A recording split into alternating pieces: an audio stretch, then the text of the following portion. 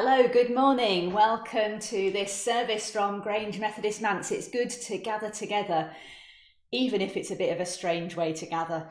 Um, so, here we are. Yes, I'm trying to remember what I'm supposed to be doing.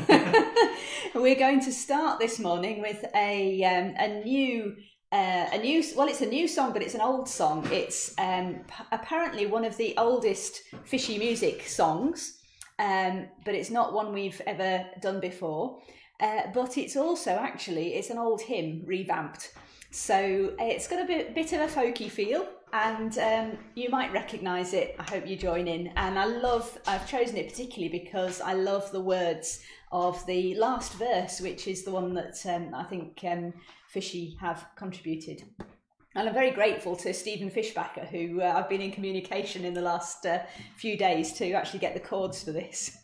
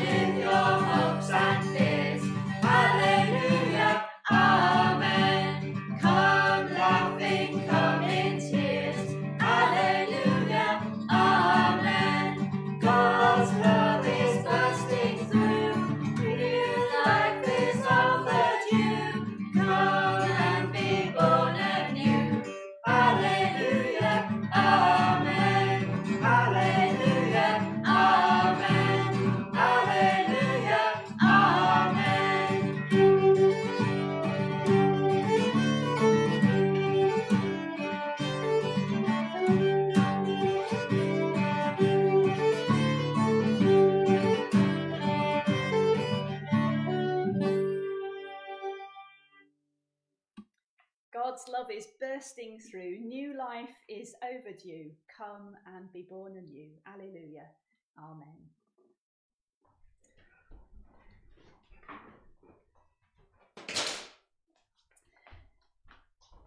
We're going to begin our prayers with a psalm this morning. Psalms, of course, really are prayers, um, many of them at least. And Psalm 139, or some verses from it, are going to lead us into our prayer.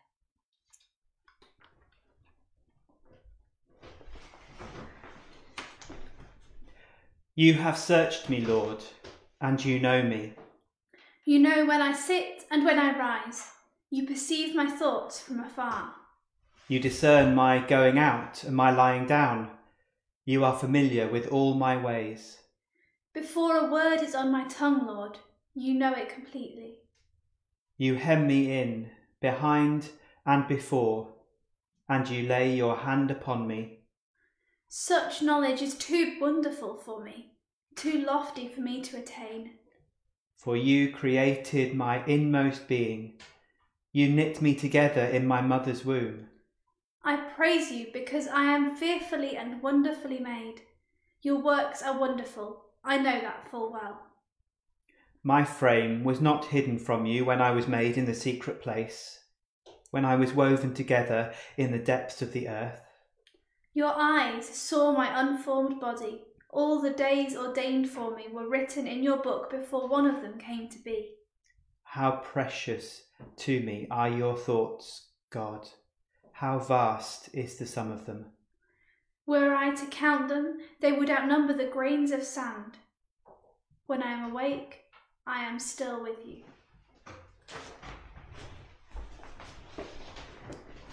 You see us, God. You see where we go, whether that's simply from armchair to kitchen, or out for daily exercise, or going out to a place of work. Each one an expression of our care and service. You see when we cry tears of loneliness or frustration. You see when we find joy even among restrictions. You see us. You know us, God. You know our inmost hopes. You know what makes us feel alive. You know the things that weigh us down and fill us with dread. You know what and who we place our trust in, and you know our questions and our doubts. You know us. Perhaps this makes us afraid. Afraid because we know we do not always live as fearfully and wonderfully made children. Sometimes we mess up, sometimes without meaning to, sometimes deliberately choosing the destructive path. Sometimes we feel we cannot help ourselves. But we are sorry. You see us and you know us, and yet you still love us. You love us through our faults and failings. Nothing we get wrong can ever surprise you or drive you away from us. You continue to love us into the wholeness of life that you have always intended for us. And so we praise you. Thank you that you invite us to pray with confidence, as Jesus taught his friends to say. Our, Our Father, in heaven, hallowed be your name. Your, Your kingdom come, your will be done, on earth as in heaven. Give us today our daily bread. Forgive us our sins, as we forgive those who sin against us. Save us from the time of trial, and deliver us from evil. For the kingdom, the power, and the glory are yours, now and forever. Amen.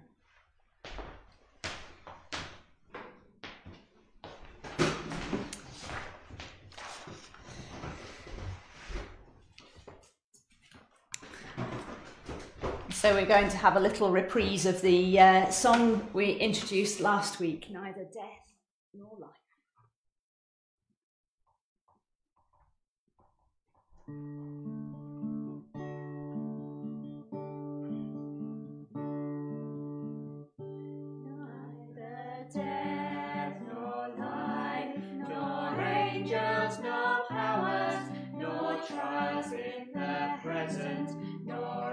trials to come, neither height nor depth, nor all of creation can ever separate us from the love of God poured out in Christ Jesus our Lord.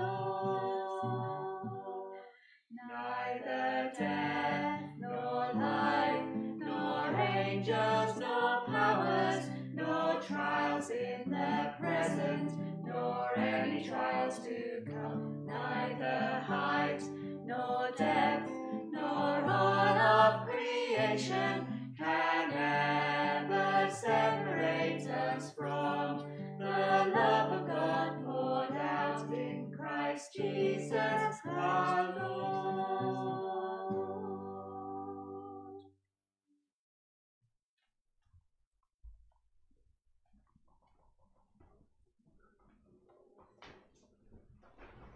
First reading this morning, uh, well, apart from the psalm, which we had earlier, of course, um, is the story of Samuel called by God. Samuel lived in the temple in the care of Eli, who was an old and failing priest. Eli's own sons had gone completely off the rails, so it's very strange that he should be entrusted with this young boy. But just a few years before today's reading takes place, Hannah, Samuel's mother, had been in the same temple, crying bitter tears and praying in desperation to God because she was childless. And she promised God that if she had a son, she would dedicate him to God. And so when Hannah did become pregnant and give birth to a son, she calls him Samuel, which sounds like God hears. And when he's weaned, Hannah takes him to the temple and leaves him there to be brought up by Eli in the service of God. Uh, so thank you to Alan who reads for us. Good morning. 1 Samuel chapter 3, verses 1 to 10. The Lord calls Samuel.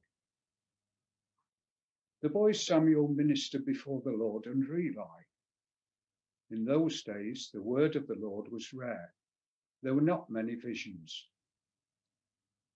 One night, Eli, whose eyes were becoming so weak that he could barely see, was lying down in his usual place. The lamp of God had not yet gone out, and Samuel was lying down in the house of the Lord where the ark of God was. Then the Lord called Samuel. Samuel answered, Here I am, and ran to Eli and said, Here I am, you call me. But Eli said, I did not call. Go back and lie down. So he went and lay down. Again the Lord called Samuel. And Samuel got up and went to Eli and said, Here I am, you called me. My son, Eli said, I did not call you. Go back and lie down. Now Samuel did not yet know the Lord. The word of the Lord had not yet been revealed to him. A third time the Lord called Samuel. And Samuel got up and went to Eli and said, Here I am, you call me. Then Eli realized that the Lord was calling the boy. So Eli told Samuel, Go and lie down, and if he calls, you say, Speak, Lord, for your servant is listening. So Samuel went, lay down in his place, the Lord came and stood there, calling, as at other times, Samuel, Samuel. Then Samuel said, Speak, for your servant is listening.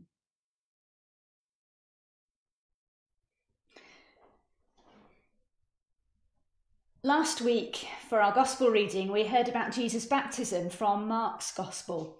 This week more or less follows on from that point, but from John's Gospel instead. And the day after Jesus' baptism, Jesus begins to call disciples. He begins with two disciples of John the Baptist who see him and begin to follow him. And Jesus asks what they want. They ask Jesus where he's staying, and Jesus says, Well, come and see.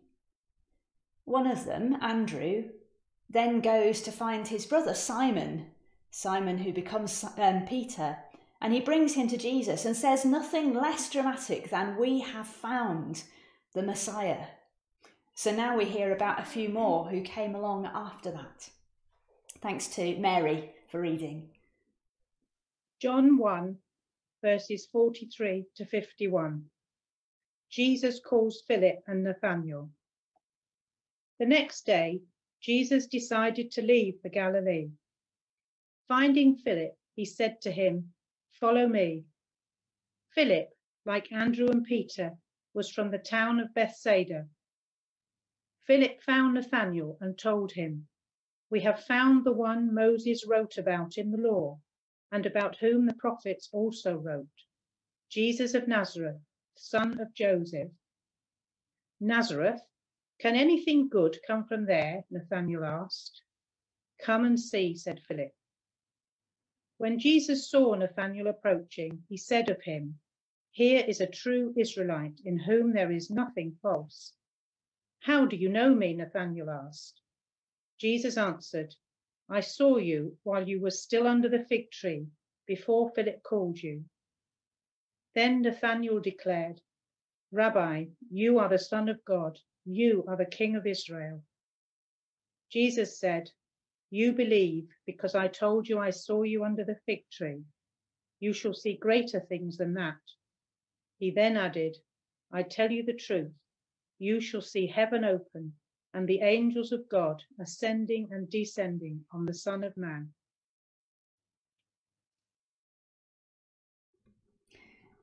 Thank you to both of you. Our next hymn is based on Psalm 139. It describes the God who knows us, who knows when Samuel lies down and gets up, who knows the thoughts of Nathaniel, and who knows us too. It's number 728 in Singing the Faith. Oh God, you search me and you know me.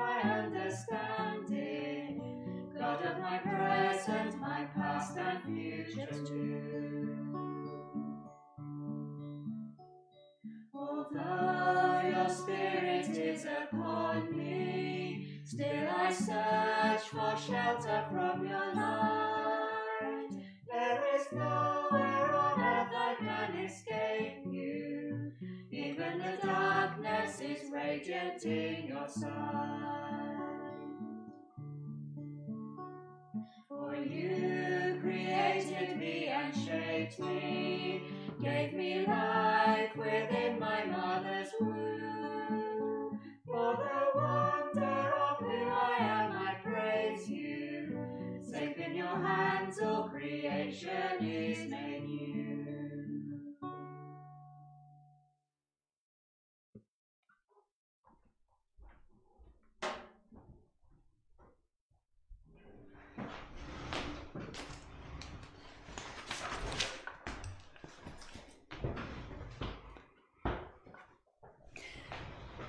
Last week, we were thinking about the covenant, the Methodist covenant, as a relationship, as it being about our acceptance of the place that God offers to us in that relationship. It's not something that we earn by our hard work or good deeds or even the promises that we make, but simply by opening uh, but simply it's opened to us by God for us to choose whether we want to stand in that relationship with God, to give ourselves to God. I am no longer my own, but yours. Here I am. Here I am. I wonder what those what feelings those words stir in you Excitement, perhaps. God, here I am. What adventures are we going to have together? Or maybe a feeling of resignation. Here I am, I can't fight it anymore. I must just accept that I can't do this on my own and I have to look to God. Or maybe a feeling of fear. here I am. I really don't know what I'm letting myself in for or where you'll take me, and it's a bit scary. It's a very vulnerable thing to say, Here I am, to God. Of course, when Samuel said, Here I am, he was actually speaking to old Eli. He probably thought when he heard that voice calling his name that Eli was asking for a drink or help getting out of bed or something like that. Samuel at that point didn't understand whose voice was calling his name. Until Eli finally twigged. The voice that Samuel heard in the temple was the voice of God. Who'd have thought that God would speak in the temple? It clearly wasn't something they were used to or expecting. I wonder how Samuel felt as he invited God to speak to him. Because saying, Speak, Lord, your servant is listening, or Here I am, is never going to be the end of the conversation. It's just the beginning. And you know that God means business when your name's called twice. It happens to lots of people through the Bible. Abraham, Abraham. Abraham says, Here I am. And God says, Stop, don't harm your son. I'm going to bless you and give you many descendants, more than you can count. And Jacob, Jacob. And Jacob says, Here I am. And God says, Don't be afraid. Take your whole family and go and make your home in Egypt. And again, God says, Moses, Moses. And Moses says, Here I am. And God says, Moses, I want you to go back to Egypt and lead my people out into freedom. Samuel, Samuel, here I am. And God gives Samuel a glimpse of the difficult future ahead. We didn't hear that part of the reading, but God tells Samuel that Eli's family would be wiped out because of their wrongdoing and that everything was going to change for the nation. God carries on saying people's names twice into the New Testament. God, uh, Jesus says, Martha, Martha, you are worried about many things, but what Mary has chosen will not be taken away from her. Jesus says, Simon, Simon, you will deny me three times. And then, even after the resurrection, Jesus says, Saul, Saul, why are you persecuting me? So, hearing God call your name twice is a moment to stop and hold on and wait for what might be a challenging message. Each of these, each of these people has a story that we could follow and spend lots of time exploring all the challenge and the joy that there was ahead for them in following the call of God. Some of them, I'm sure, felt that that call was a mistake. In fact, we know that some felt like that.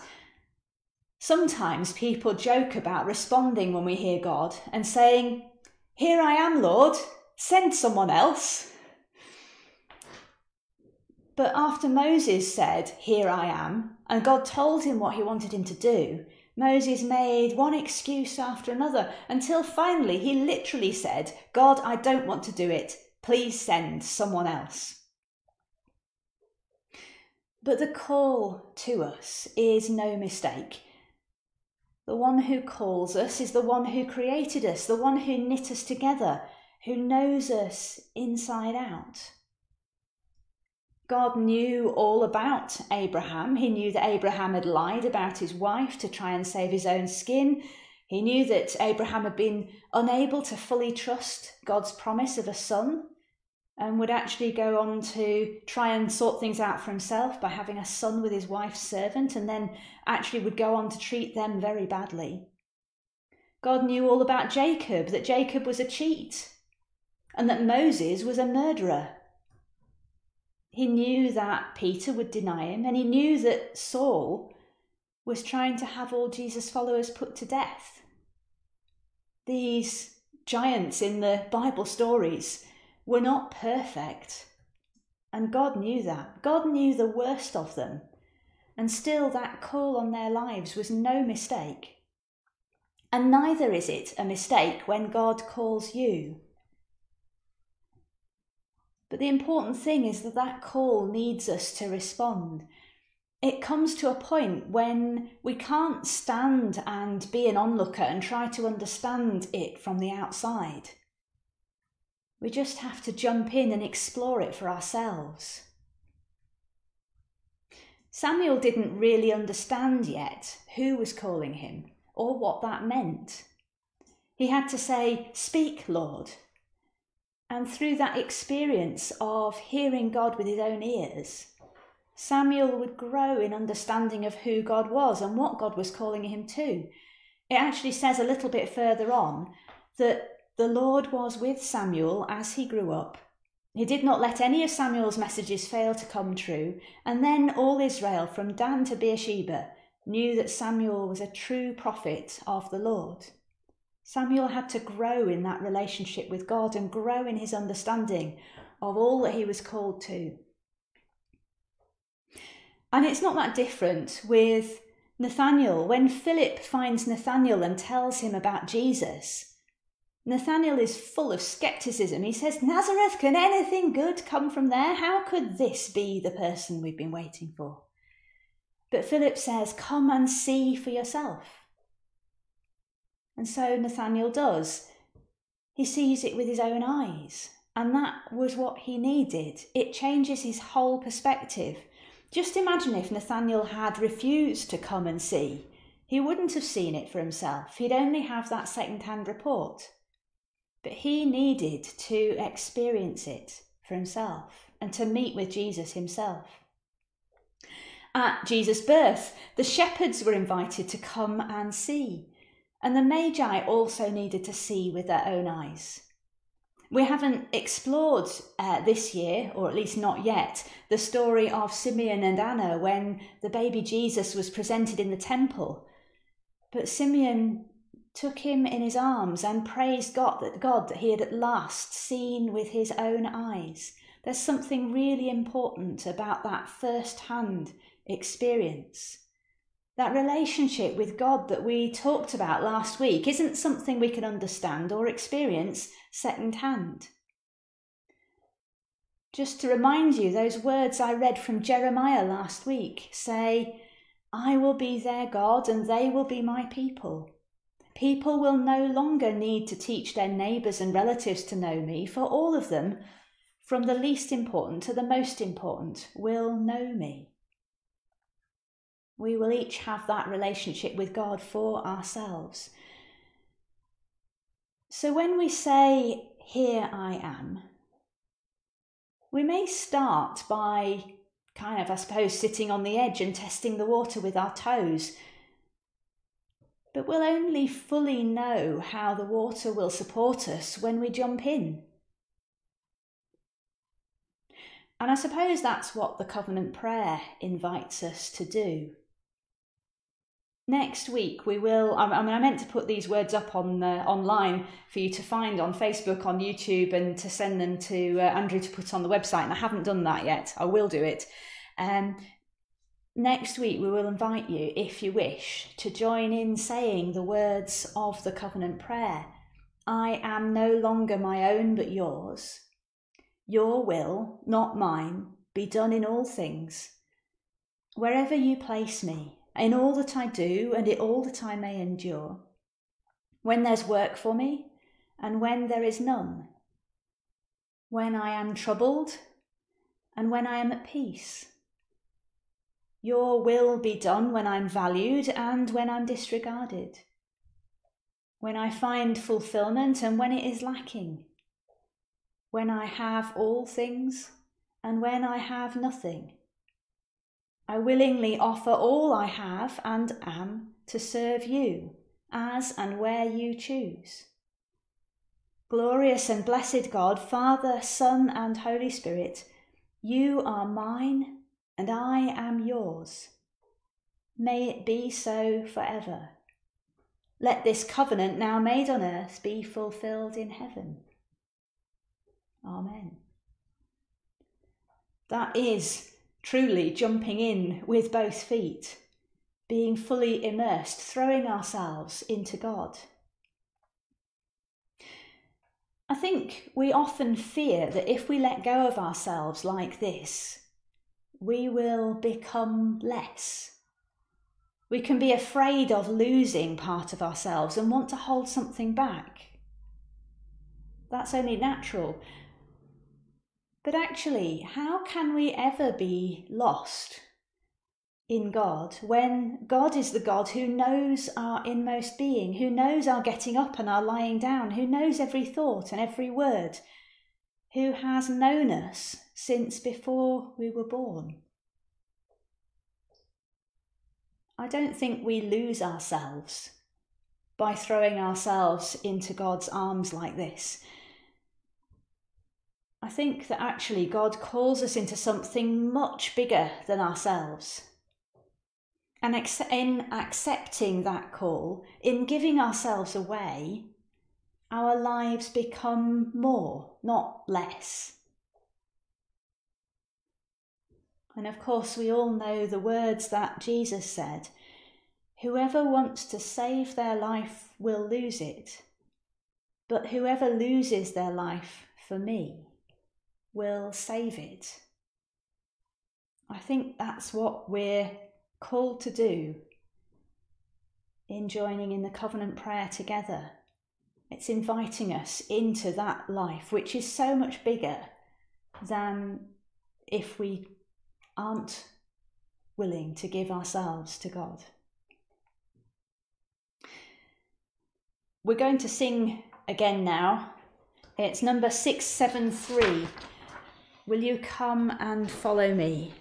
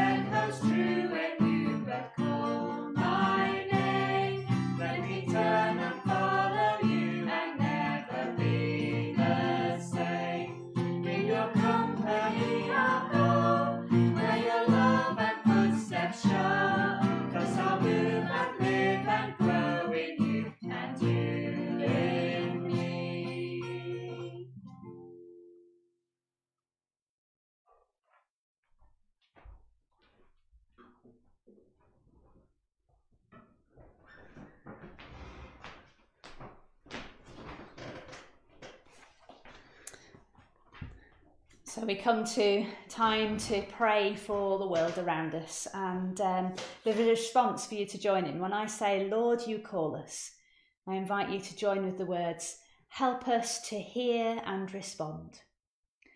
Lord, you call us. Help, us to hear and respond.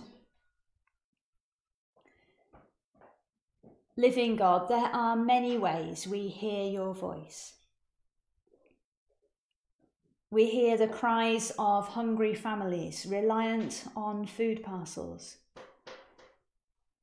We hear of those living on the streets, even in this country where so many have so much. We hear people who inspire us by their determination to help.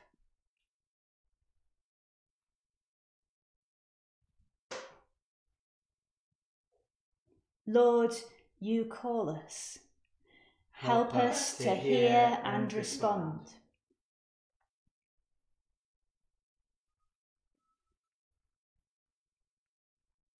We hear of communities and nations divided and in conflict.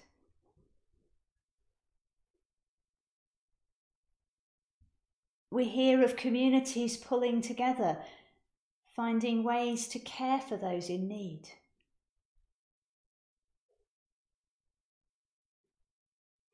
We hear from leaders who don't have all the answers and need our prayers.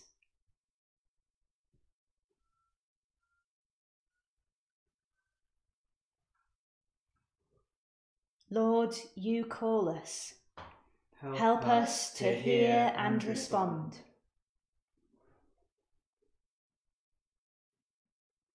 We hear of friends, relations, neighbours, and colleagues falling ill. We hear of the exhaustion of medical staff and care home workers caring for those who are sick. We, we hear the hope of vaccination clinics.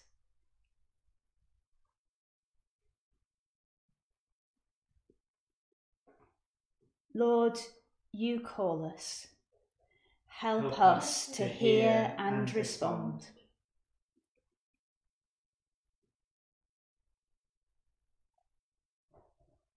We hear the sadness and frustration of people who are lonely and whose lives feel empty. We hear from people struggling to juggle working at home and helping children learn. We hear of people losing their jobs and wondering how they will get through.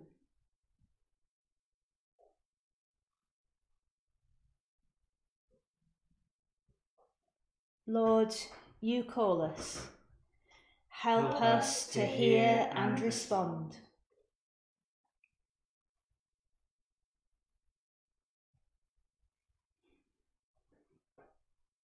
We hear of faith communities hit hard by the pandemic and struggling to survive. We hear of faith communities giving practical help and serving others. We hear of faith communities sharing your life and hope in fresh ways.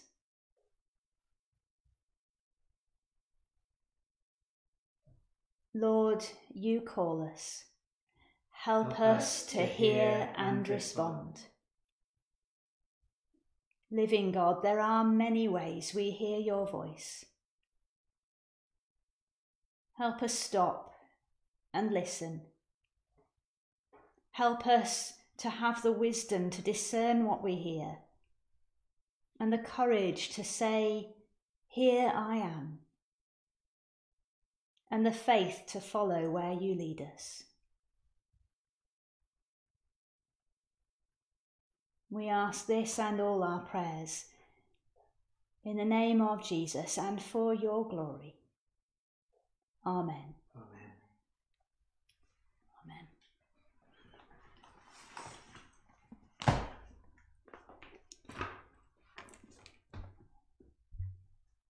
next week, we're going to think a little bit more about where that calling might take us if we are willing to follow. Um, but now we sing our final hymn, I, the Lord of Sea and Sky. It's number 663 in Singing the Faith.